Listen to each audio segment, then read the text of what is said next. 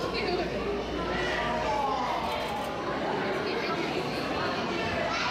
like, stop. you can't do that yet.